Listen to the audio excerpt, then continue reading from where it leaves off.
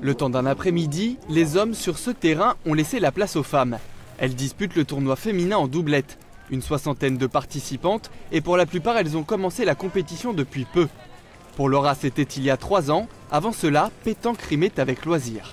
Je jouais de temps en temps, après il y a mes parents qui jouaient, donc je me suis mis comme ça, mais j'ai joué depuis petite, mais en famille de temps en temps. Marie-Angèle Germain a été championne de France et d'Europe. Dès que c'est possible, elle participe à des tournois féminins en Corse ou sur le continent. Sinon, elle n'hésite pas à se confronter à des équipes masculines. Depuis toute petite, euh, c'est mon milieu, donc euh, je me suis euh, intégrée tout à petit, les, les hommes m'ont accepté. Et je pense que les femmes, elles ont eu un peu de mal et avec les années, c'est venu tranquillement. Hein.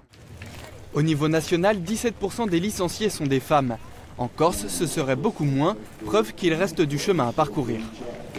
La pétanque, on l'assimile au comptoir. Le comptoir, c'est un, peu les hommes, c'est un peu. voilà. Mais, mais je pense que ça va changer. Hein. C'est en train de changer, Dieu. Les pratiquantes corses ont décidé d'agir et de s'organiser. Cette année, elles ont créé une association.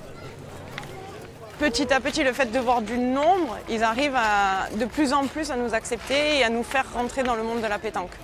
Parce que voilà, même au niveau des terrains et tout ça, euh, on a passé des temps où, comme on n'était pas nombreuses, on nous mettait un peu à l'écart. En six mois, l'association compte déjà 41 adhérentes. Dans quelques années, peut-être verra-t-on une équipe féminine s'imposer face aux hommes lors du concours général.